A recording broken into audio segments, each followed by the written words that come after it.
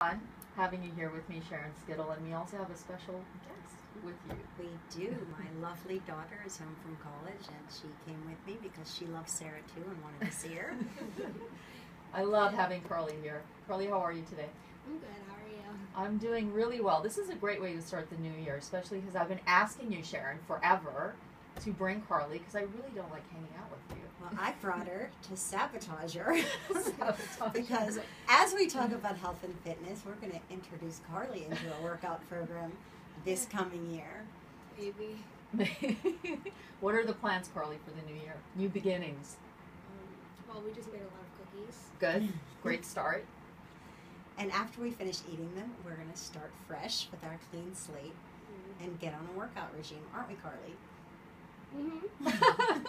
Yes, we are. Maybe, perhaps, So intention into action for 2015 is something that we're going to work on. Mhm. And a lot of us say we intend to work out, and it never happens. And so instead of thinking about it as a resolution, think about it as a lifestyle change. You're going to change your lifestyle for the better, and you're going to adopt habits that are healthy, and you're going to choose every day to get up and do some form of exercise because in the long run, it's beneficial both mentally and physically. Carly and I are just laughing. Yeah, we, they- we don't even know what nobody's you're talking listening to me. about.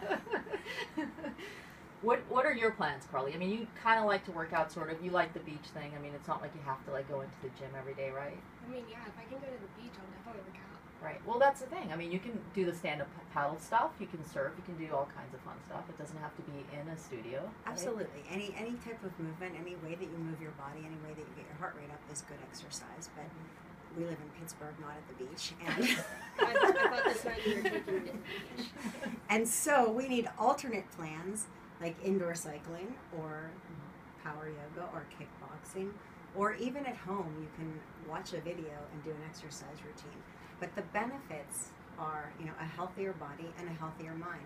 You know, this time of year you see a lot of depression, a lot of people looking for things that help change their mood. And one of the things, one of the most natural mood enhancers is exercise. Raising your heart rate raises your serotonin level. So get out there and exercise.